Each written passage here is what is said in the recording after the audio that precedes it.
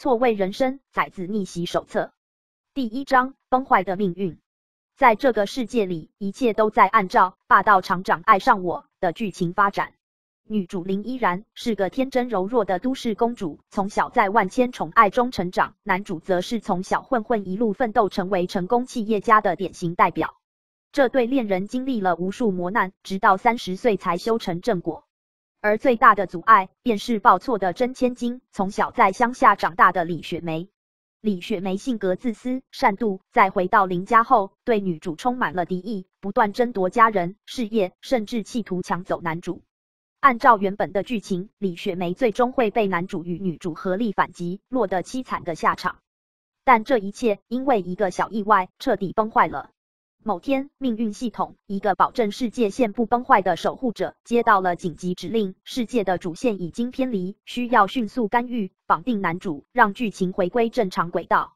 然而，因为某个大意，系统在启动绑定程序时，并没有锁定男主，而是绑定了男主那两岁半的孩子林小宝。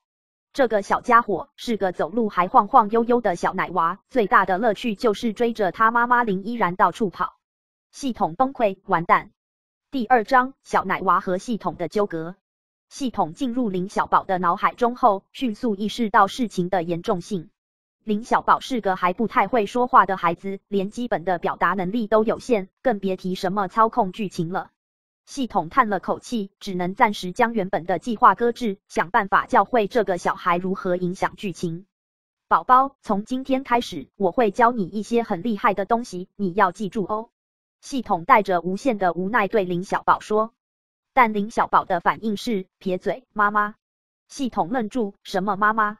我们得先把你爸爸妈妈的故事搞清楚。小宝完全不在意，继续奶声奶气的喊妈妈，妈妈，然后踉踉跄跄的跑到林依然面前，抱住他的腿，脸上满是得意。系统气急，真的是完蛋了。第三章，对抗真千金的第一步。系统逐渐意识到，想让林小宝完成自己使命的唯一办法，就是陪着他慢慢学习。于是，他开始循循善诱，引导林小宝去观察家庭中的一些变化。这天，李雪梅再次找上门来，刻意在家族聚会上挑衅林依然，甚至想引起男主的注意。他咄咄逼人的态度，让家人们对林依然充满了误解，场面一度尴尬。系统急得跳脚，小宝。这是你第一次表现的好机会，快点阻止他！但林小宝完全没理会场面，他正埋头吃着桌上的点心，嘴角还挂着奶油。系统忍无可忍，再这样下去，你爸爸妈妈就要被他打败了。你想要他成为你的新妈妈吗？这一句话瞬间点燃了小宝的斗志，奶娃的眼神中闪过一丝惊恐，他突然大喊：“不要！”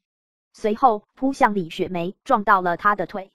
李雪梅毫无防备，狼狈的摔倒在的聚会现场，一片惊呼，气氛瞬间尴尬到了极点。系统偷偷得意，这还算成功吧？第四章剧情的意外反转，随着小宝的不断插手，剧情开始偏离原本的轨道。真千金李雪梅的每一次计划都在意外中失败，无论她如何设计陷害林依然，都会因为小宝的插科打诨而被无意识的化解。然而，这种乱入的行为却让李雪梅感到越来越不安。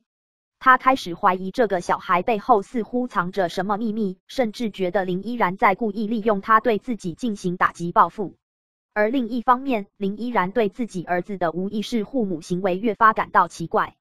他本以为小宝只是个纯真无邪的孩子，但他似乎总能在关键时刻发挥作用，这让他对小宝的行为产生了更多的关注。系统开始烦恼，这样下去，剧情虽然没有崩坏，但也偏离得太远了。必须让小宝更主动的去影响事情。第五章，打破命运的框架。随着时间的推移，林小宝在系统的指导下，逐渐变得聪明起来。他开始懂得如何利用自己可爱的外表和无意识的行动，来暗中保护自己的家人。同时，他也在慢慢改变着男主和女主之间的关系。这一天，李雪梅准备最后一次动手，试图设计一个让林依然失去男主信任的阴谋。然而，小宝早已经识破了他的计划。他在系统的帮助下，故意在众人面前说出一些天真的话，让李雪梅的计谋彻底曝光。妈妈说：“这个阿姨要抢走爸爸。”小宝天真无邪的指着李雪梅说道。所有人瞬间哗然，李雪梅的阴谋当场破产，他无法再狡辩，只能狼狈的离开。而林依然和男主之间的关系也因此变得更加牢固。系统满意的点头，没想到这个小家伙真的有天分，居然还能自己想办法应对。第六章崽子的未来。随着李雪梅的彻底败北，剧情回到了正轨，林依然和男主的爱情也稳定了下来。然而，林小宝却不再只是那个天真无邪的小孩。他通过这一系列事件，学会了更多的东西，变得更加聪明且有主见。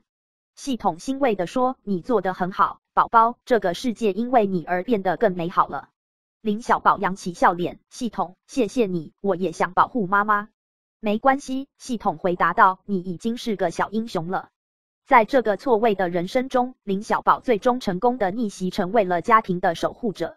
他用自己的智慧和系统的帮助，不仅打破了原本的命运框架，还让自己成为了真正的主角。